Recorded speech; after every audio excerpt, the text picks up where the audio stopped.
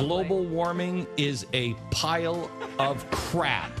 The problem with climate change is there's never been a day in the history of the world in which the climate is not changing. The climate on Mars is changing, and Mars doesn't have any SUVs on it. It's in the interests of the left to have destructive hurricanes because then they can blame it on climate change. The ice caps were going to melt, they were going to be gone by now, but now they're setting records, okay? A hearing on Capitol Hill on global warming was canceled because of snow in Washington, D.C. You can't make this stuff up. It's a snowball and that's just from outside here. So it's very, very cold out. I found it ironic the president was wearing a trench coat. It was so cold, and he's talking about global warming. It's not global warming. It's God's judgment coming to this country. Environmentalism has become a radical movement, something we call the Green Dragon. Scientists from the pits of hell, how dare you take from Yahweh the sovereign right over the weather? When I was six or something like that, I opened up a birthday present that I didn't like. And the person that gave me the gift was there. And, you know, I just crushed that person. And you think, well, that, that's kind of how we're treating God when He's given us these gifts of, of abundant and inexpensive fuel sources. Right. God's buried those treasures there because He loves to see us find them. We were put on this earth as creatures of God to have dominion over the earth for our benefit, not for the earth's benefit. One hurricane is the equivalent of 10,000 nuclear weapons. So every year we've got like 2 million nuclear weapons going off, and the planet still seems to be pretty good shape. So, what is it we think we're going to do to damage the planet? And we have more carbon dioxide in the atmosphere now, which is actually greening the planet. It's greening the planet. It's greening the planet. That's good. Yes, it is. if you believe that mankind is causing climate change, you're deceived by Satan. This is the real solution to climate change babies. From Hollywood, it's Jimmy Kimmel Live, Climate Night, tonight. Julianne Moore climate scientist Dr. Katharine Hayhoe and music from My Morning Jacket. And now, Jimmy Kimmel!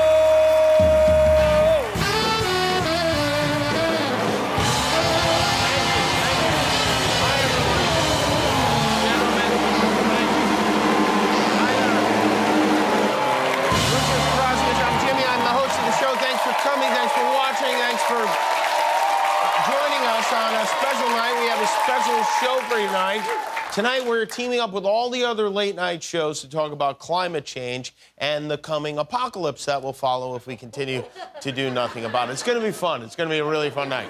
And don't even think about switching to another show. We're all focused on this topic tonight.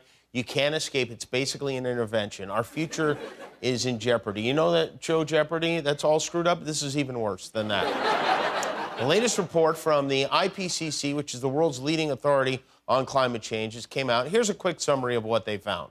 Experts are calling the world's climate change threat a code red for humanity. Code red for humanity. Code red for humanity. Code red for humanity. The code red for humanity. Code red for humanity. Yeah. Code Red is not uh, good. It, Code Red, not even as a flavor of Mountain Dew, is Code Red good. And as we saw this summer, this is not a maybe sometime in the future problem. This is happening now. It It's 100 degrees in the valley here today. It seems like we get hit with fallout from the climate crisis every day here in California. Wildfires, floods, landslides, which are all amazing things to hear Stevie Nicks sing about, not something you want to experience in life. And if death and destruction famine, pestilence, water shortages on a global scale, if that isn't scary enough, think about this. Scientists say climate change could severely impact the world supply of beer. No! See, that's right. You like coffee? Half the world's coffee beans could be wiped out. So enjoy your morning cup of steam. You like chocolate? Same thing. Imagine a world where you, ha- you get a carrot cake for your birthday. It's a nightmare. Climate change could even lead to massive shortages of rosé. I don't actually know if that's true. I just want to see if the white women were listening. Yeah? Okay. if you are a person living on this planet, your future is in peril. That's a scientific fact. It's like, uh, you know, in your early 20s, you drink all weekend, you eat a pizza in the middle of the night, three hours of sleep, and show up to work on Monday morning whistling. If you do that in your 50s, you wake up on the toilet dead. This is like that. And yes, there are other issues that are all very important the pandemic, uh, systemic racism, income inequality, immigration, gun violence. But here's the thing if we don't address climate change, none of those issues will matter at all. The car is going off a cliff, and we're fiddling with the radio. We are way past climate denial now. For some of us, it's already too late for some of it. The IPCC, IPPC says, uh, I can't even say their name. That's how serious this is. No, the IPCC says only transformational action right now will help us avert the worst of it. But that'll be tough because for some baffling reason, climate change has become a partisan issue, even though some prominent Republicans, like the late John McCain, warned us about it many years ago. The fact is that the overwhelming body of scientific opinion in America and the world believes that human activity is causing climate change in the world. And that is an irrefutable fact.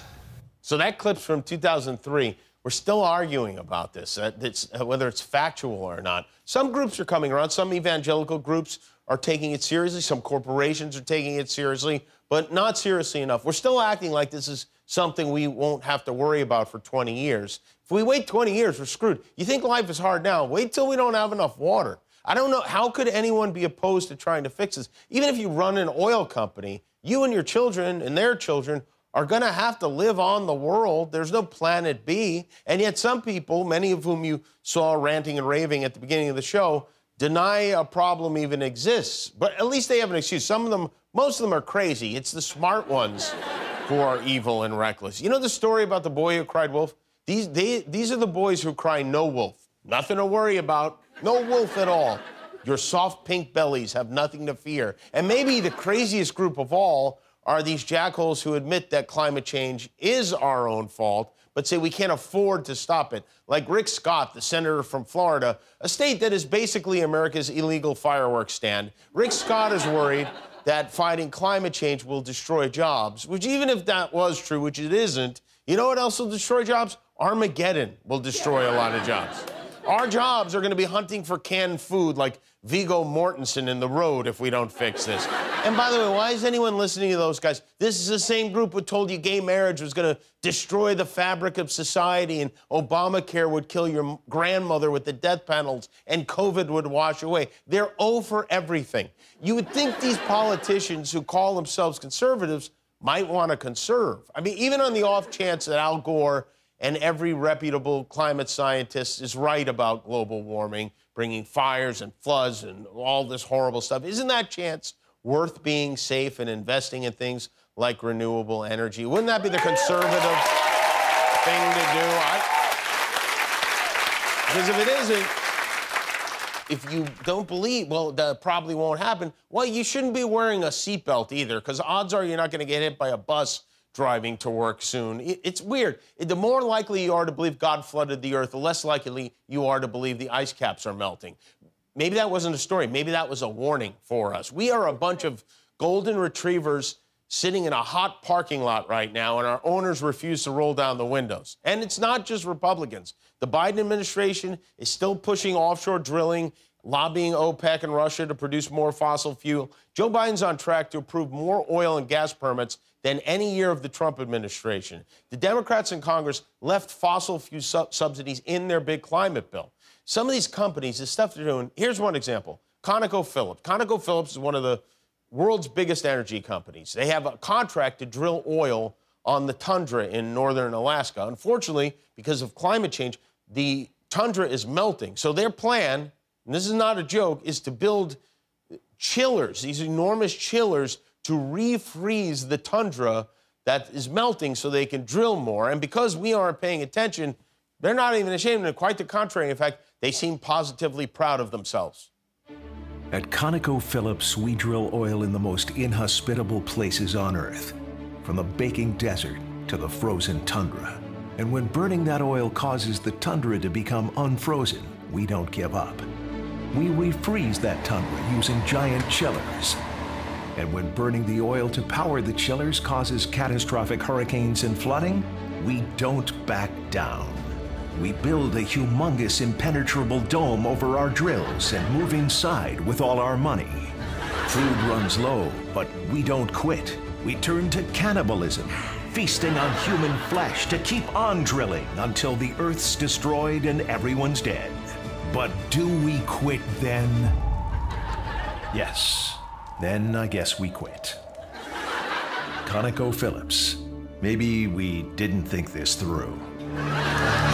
But we do appreciate your honesty. This is, this is a huge planet-wide emergency. If we don't act now and act big, then there will hardly be a planet left for Jeff Bezos to flee from in his liquid hydrogen-fueled dildo rocket. No matter what the the big corporations and energy companies tell you, we're not going to vegan or Prius our way out of this ourselves. We need action. We need to make this our number one priority. Our leaders aren't going to get serious about saving the planet unless we do. But don't take it from me. Take it from scientists. Take it from real climate scientists. Five years ago, we invited these scientists on our show to warn us about climate change. Now they're back with a new message, and I hope you'll listen carefully because our lives literally depend on this. Hello again. We're climate scientists. Real climate scientists, not actors. Five years ago, we came on Jimmy's show. We told you climate change is real. That it's undeniably caused by human activity. That it's going to be catastrophic. And that we weren't with you. Totally not with you. I thought we made that clear. But now it's five years later. The globe is hotter. Hurricanes are stronger. Droughts are worsening. Coral reefs are dying. Wildfires are raging. And floods are even floodier. So we're back with a new message. And we really hate to say this, but. We, we told, told, you so. so. We told you so. We told you we'd be by climate change. And now we are, just like we said. Good and hard. Right up the greenhouse gas. It's almost like we knew what we were talking about. Scientists for the win. Guess we weren't with you after all. The planet is exactly as as we told you it would be. You mother. As you can see, five years ago, we were here at medium. Now we're closer to here, mostly. And we only have a few years left to take drastic action before we wind up here, totally and irreparably. But we're still not completely. There's still time to un some stuff. If we, companies, government, all of us act right now, we can save tens of millions, hundreds of millions of lives. We can call it the great un Please, we're begging you. For sake. We're not with you. Not with you. We're seriously not with you. I wouldn't with you. Kimmel, he would with you. Let's work together. To un the, world. world. Info by scientists who still aren't with you.